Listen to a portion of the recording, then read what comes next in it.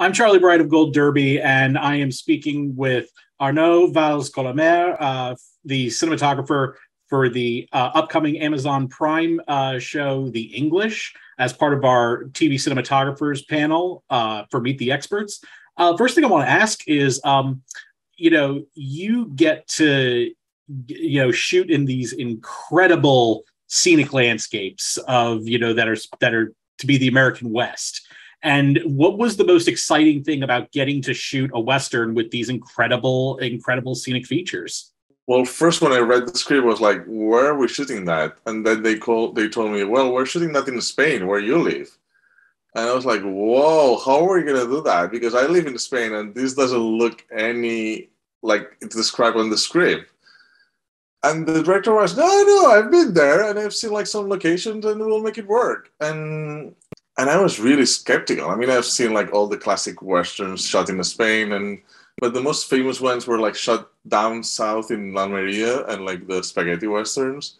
But this was like more of like a lot of green and a lot of mountains and a lot of like a different like more of a yeah Midwest landscape, not not only desert landscape.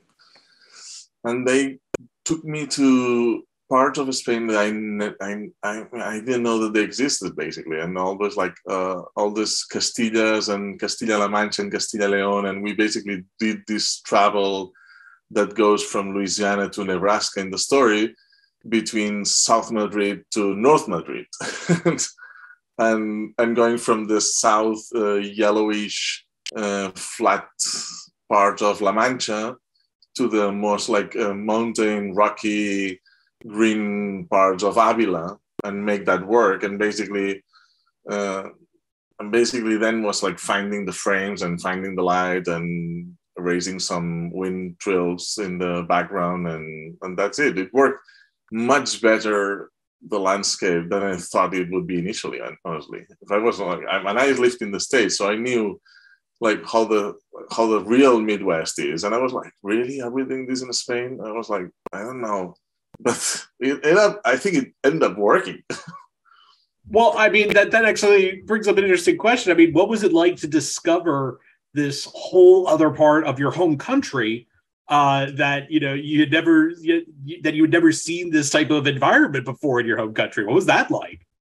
It's like it's like it's like always like when you frame something in the like I never thought of like that part of the country frame it for a Midwest Western so I never thought of it. And when you actually do it, and then and then you realize that it's actually with the, the areas that we're like shooting. It's we're not the first ones, and they were actually shot a lot of westerns there. Like a lot of like this kind of B westerns were shot there, and and it works. And I never.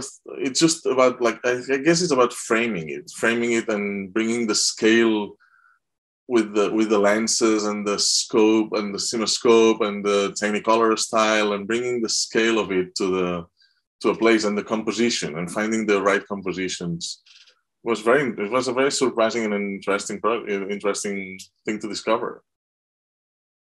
Uh, so you know when you have a scene that takes place in the vastness of the west uh, or what's supposed to be the west um, what uh, did you uh, what did you do to better capture intimate moments between characters, specifically uh, the ones with uh, Emily and uh, Chaske?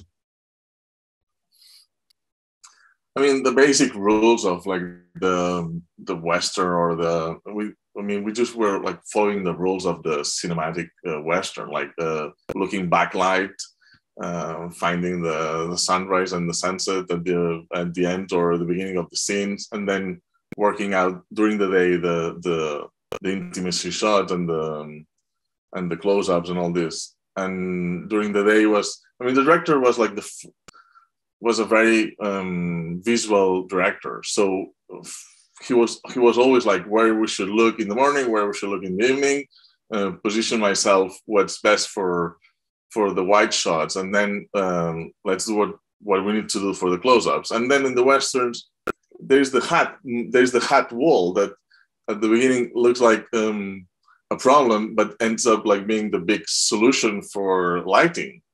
Because you are in the middle of the day and you are the, the face the face is covered by a sh- strong shadow that then you can work uh, the light inside the shadow depending on how you want and how you how you how you want to light it. So it was like doing wide shots at the beginning and uh, at the end of the day and doing close-ups in the middle of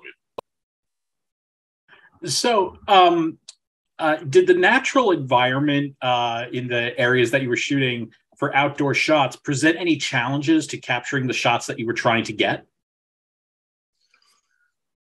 Yeah, yeah, like you're you're exposed to nature and you're exposed to everything, and you have to you have to deal with this, and you have to um, take advantage of it. Um, at the end of the day it's tricky and you suffer and you're like struggling to to get continuity with the lighting and all this but honestly it gives us it gave us like a lot of things that we never expected and it worked out like giving us moments of like incredible um, poetry and nature was like working itself for for our story and in the way like the wind or the strong moments of of nature that were like uh, struggling to fight with or to to to to try to keep shooting with uh, it ended up like being like i remember like the wind was a big problem for us sometimes like with the hair even with the hair of the emily blunt and everything.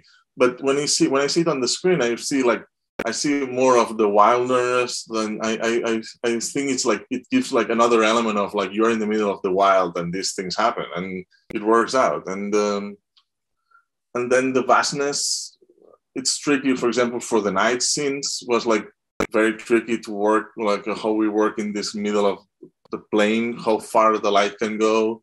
And then we did a mixture of like shooting in natural locations and then bringing some big night scenes to studio and creating like um, recreating the um, the floor like the desert floor and then using blue screens in the back and shooting day for night for the blue screen. So trying to replicate like the moonlight that's impossible to replicate in a real night exterior and trying to do with this a mixture of techniques of shooting in, in the studio and shooting uh, plates of day for night uh, for VFX compositions.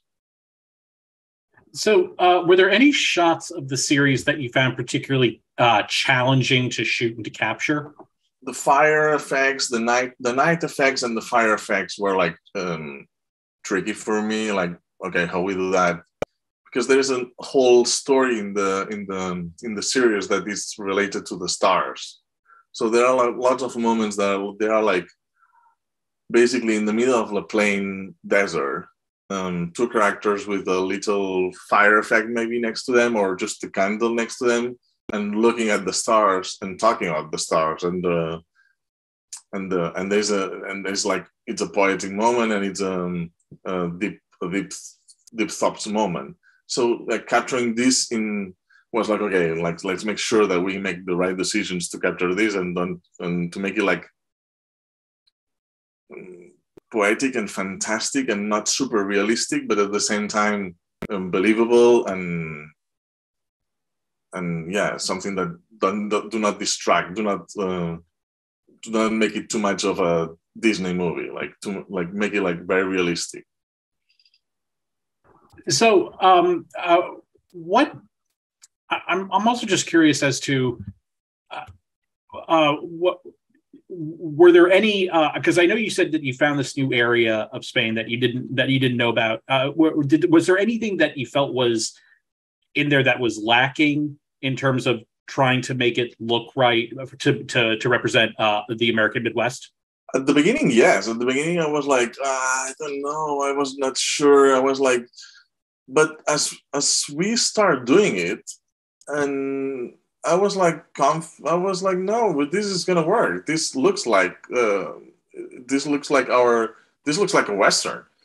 And then when i'm seeing the results i mean i went to the premiere like last uh, two weeks ago in london with my wife and she was like are you i mean this is what you shot like last summer in spain. Are you sure that you're not lying? I mean this is not VFX or like no no. It's like and even with the skies i mean with the skies we're like lucky to have like these huge skies that you normally find in america that i was like sometimes okay here in spain they're not so often but then we, ha- we were like lucky enough to have them and capture them and and and I, I don't I don't miss I don't miss America on the show honestly.